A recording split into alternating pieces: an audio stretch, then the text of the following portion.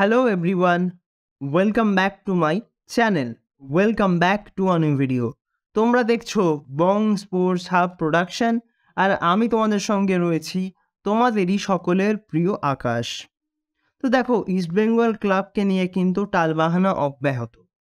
ইস্টবেঙ্গল ক্লাবে আগামী সিজনে নতুন কোচ হিসেবে কে আসতে পারেন তাই নিয়ে কিন্তু চর্চা এখনও চলছে। আরজিও লোবেরা তারই কিন্তু আসার সম্ভাবনা প্রবল।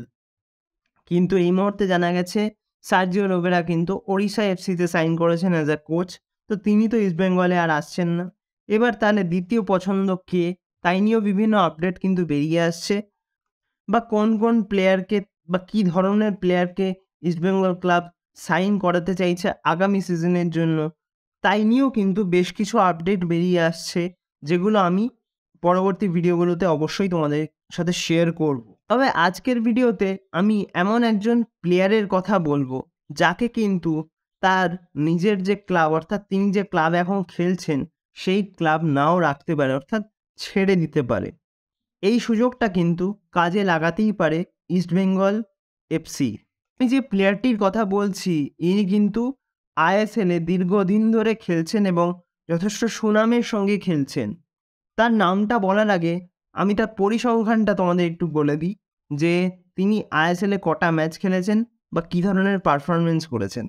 তারপর তো অবশ্যই তোমাদের নামটা তো বলবই। তিনি এই সিজনে তার দলের হয়ে আইএসএলে মোট বাইশটি ম্যাচ খেলেছেন, যেখানে তিনি গোল করেছেন ছটি অ্যাসিস্ট করেছেন পাঁচটি। আর আমরা যদি তার ওভারঅল আইএসএল কেরিয়ারের কথা বলি, তো সেক্ষেত্রে তিনি আইএসএলে মোট বিরাশিটি ম্যাচ খেলেছেন যেখানে তিনি গোল করেছেন বিয়াল্লিশটি এবং অ্যাসিস্ট করেছেন তেইশটি। তিনি কিন্তু মূলত একজন স্ট্রাইকার তার প্রথম আইএসএল সিজন ছিল এটিকের হয়ে। তারপর কিন্তু তিনি দুটি সিজন খেলেছেন এটিকে মোহনবাগানের হয়ে এবং এই সিজনে তিনি খেলছিলেন বেঙ্গালুরু এফসির হয়ে। আমি আশা করব তোমরা সবাই বুঝেই গেছো যে আমি কার কথা বলছি। আমি বলছি রয় কৃষ্ণার কথা। রয় কৃষ্ণাকে কিন্তু বেঙ্গালুরু এফসি ছেড়ে দিতে পারে এরকম কিন্তু একটা খবর বেরিয়ে আসছে। আর রয় কৃষ্ণার মতো একজন প্লেয়ারকে যদি ইস্টবেঙ্গল ক্লাব সাইন করাতে পারে, তো হিউজ একটা খুব ভালো সাইনিং অবশ্যই হবে ইস্টবেঙ্গল ক্লাবের জন্য। কারণ প্লেয়ারটা কিন্তু ভীষণ এক্সপিরিয়েন্স এই আইএসএলের সার্কিটে এবং এই সিজনে হয়তো রয়কৃষ্ণা সুলভ পারফরমেন্স তিনি দিতে পারেননি। তবে যেদিন তিনি নিজের ফর্মে থাকেন। সেদিন কিন্তু যে কোনো অপোনেন্টের কাছে এক বিভীষিকার নাম হলো রয়কৃষ্ণা।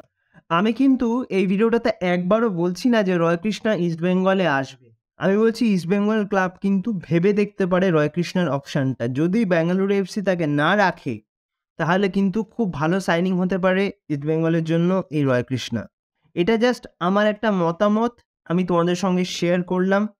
প্লিজ তোমরা কিন্তু কমেন্ট করে জানিও যে তোমরা কি আমার সঙ্গে একমত বা তোমরা কারা কারা মনে করো যে রয় রয়কৃষ্ণা ইস্টবেঙ্গলে আসলে আখেরে ইস্টবেঙ্গলের ভালোই হবে। সেটা আমাকে অবশ্যই করে কিন্তু জানিও আর ভিডিওটা ভালো লাগলে রোজ যেটা বলে থাকি অর্থাৎ লাইক কমেন্ট শেয়ার এবং সাবস্ক্রাইব করতে ভুলবে না। সাবস্ক্রাইব করে দিয়ে পাশের বেল অপশানটা প্রেস করে অবশ্যই অল অপশানটা প্রেস করে রেখো। যাতে সমস্ত রকম নতুন ভিডিও নোটিফিকেশান তোমরা সবার আগে পেয়ে যাও।